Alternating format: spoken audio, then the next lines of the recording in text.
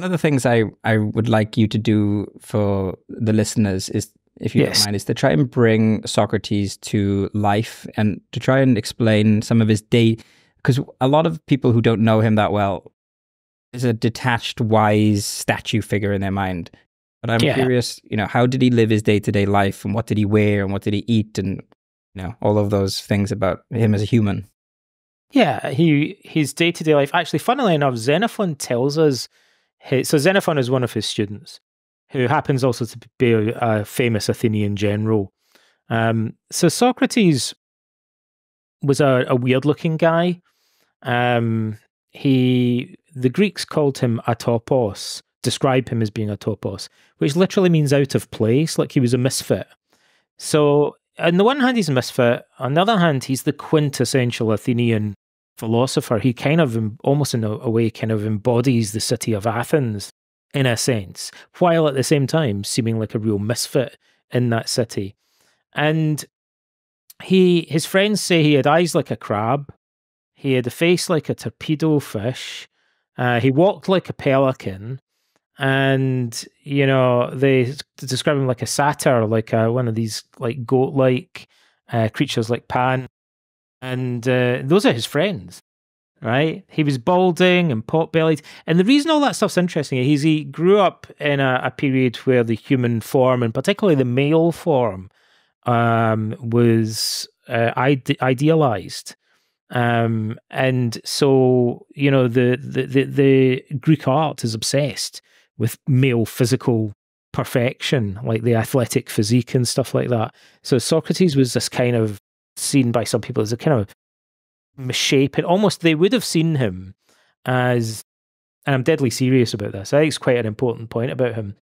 In Greek theatre, there's a kind of stock formula in the satirical plays where there's a kind of pretentious character, usually someone who's more uh, upper middle class or, or noble. And then there's a kind of buffoon, like a country bumpkin or whatever, that uh, is a sort of everyman and punctures their conceit by, you know, asking them stupid questions and so on. And these are stock characters in Greek theatre. People would have definitely seen Socrates in his, both in his physical appearance and in his behaviour as resembling a buffoon in Greek satirical uh, theatre, I believe. And so he was an odd, kind of strange guy. He was both really attractive to people and kind of repellent to them at the same time. In the morning, he, if I remember rightly, in the morning he went to the gymnasia, according to Xenophon. So Athens had three major gymnasia. And a, a, gymnasium in ancient Athens is kind of, I guess the best way to describe it would be it's a bit like what we would call recreational, uh, like a sports ground um, where there's running tracks, a big park where people are doing pankration or like mixed, it would be like mixed martial arts and boxing and wrestling, running, maybe throwing javelin. But there's also libraries and shrines and people doing public speaking. They're kind of like on a soapbox or giving lectures. So there would be young men training for their military career and also doing dance. Like they had this military uh, athletic dance that they would do. So performing kind of doing ritualistic dance and exercise and so on. And then there'll be older men talking about philosophy and politics and giving speeches. Basically, while they wander through the walkways and the parks, that's where that's where Socrates would send spend his mornings. So often surrounded by intellectuals, but also a lot of adolescent boys doing boxing and stuff, and very outdoors like walking around doing philosophy. Um, the gymnasia of Athens were the Lyceum, um, the Academy, which became famous later as the schools of Aristotle, the location of the famous school of Aristotle and the school of Plato, and also uh, Cynosarges, which is associated with the Cynic school of philosophy to some extent, where poorer citizens would go and train. So that's what he did in the morning. And then, if I remember rightly, in the afternoon, he would go to the Agora. So Socrates was also very well known for hanging around in the city centre of Athens, which would be a little bit like hanging around in a shopping mall today. So that's where all the market uh, stalls were, there were shops, and loads of public buildings as well. The Stoa Poikile, the home of Stoicism, it's like a, a, a colonnade, um, was there. Um, it's beneath the Acropolis and kind of in the shadow of the Acropolis and the Parthenon Temple. And uh, ironically, the we as far as we we know, the court where he was placed on trial and the prison where he was kept pending his execution were both in located in the Agora where he would typically hang out every afternoon of his life. So he he, would have been hanging around just outside um, the walls of the prison, um, and then later he would be on the other side of them, hearing probably hearing the same voices that he heard every day, but this time on the other side of the wall, on the outside of the wall. And he hung around in shopkeepers. So I'll tell you a little bit of trivia about Socrates. It's kind of gold dust to historians when we have these textual sources that often are surprisingly questionable from the ancient world.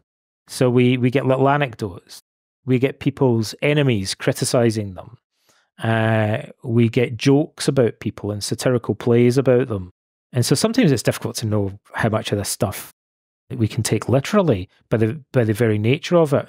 So there's an anecdote that Socrates was friends with a shoemaker called Simon, and he would hang out in Simon's shoe shop and talk about philosophy.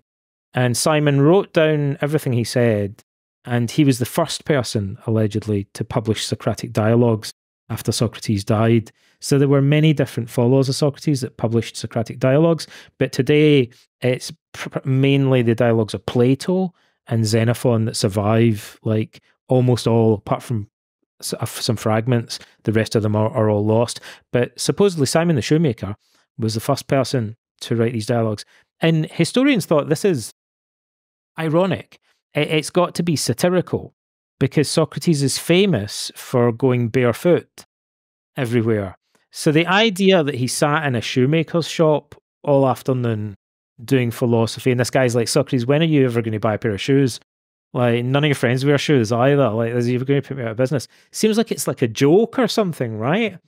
Um, however, when the Greek uh, the the Greek government were um, digging up uh, the archaeological remains of the Agora, they found lots of shops and the ruins of them. And they, they found the ruins of a shop where there were nails that they believe are used for making shoes.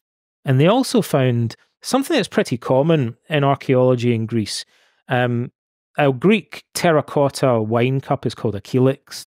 And at the base of it, people would scratch their name, so because it belonged to you, right? It's got you scratch your name at the bottom. Maybe it gets mixed up with someone else's cup out once you've had a few too many drinks or something like that.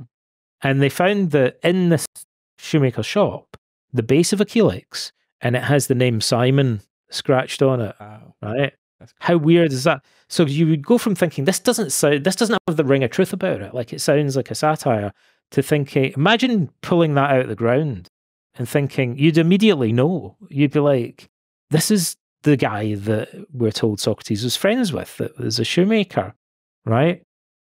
So Socrates hung about in shops and he, um, you know, the the famous anecdote is somebody said to him once, Socrates, you're kind of aloof from material possessions. You're always questioning materialism and stuff. And yet you spend all day hanging out, or you spend all afternoon hanging around in the Agora, which is this temple to consumerism. Like it's where all the markets are and the kind of bustle of the, the city centre, you know, like hanging out in a shopping mall. Like, how do you explain that? And Socrates said, I like to remind myself every day, I like to remind myself how many things there are of which I have no need